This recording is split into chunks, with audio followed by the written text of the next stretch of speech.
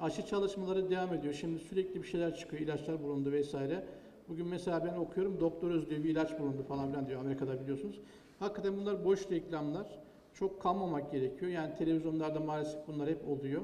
Veya işte bakıyorsunuz aşı, etkin aşı bulundu. Çin'den gelen haber var. Evet Türkiye'de bunlar denenecek. Biz de o çalışmanın içerisinde insanlarımıza bakalım önce yan etkisi var mı? Koruyuculuğu nasıl? Ve yan etkisi var mı? Gerçekten yani faydasından, zararından çok faydası oluyor mu? Onu görmek lazım. Çünkü bazen aşı yaparsınız e, yani hiç değmeyecek olur. Antikor oluşturmayabilir. Yani koruyucu seviyeye çıkmayabilir. Bir de e, insanlarda başka tür patolojilere, hastalık yapıcı etkilere fayda, şey, yol açabilir. O zaman hiç kullanmamanız çok daha iyi oluyor. Dolayısıyla öngörülen süre 2022 gibi duruyor.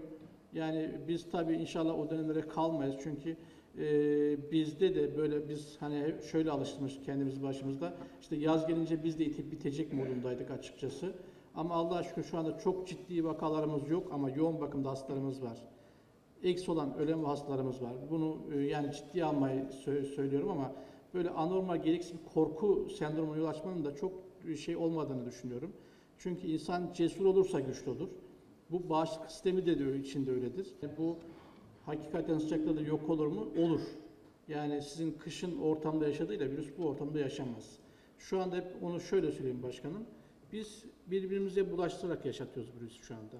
Vücudun sıcaklığı hep 37 derecedir. Yani 36-37 arasıdır. Normal vücut sıcaklığı budur.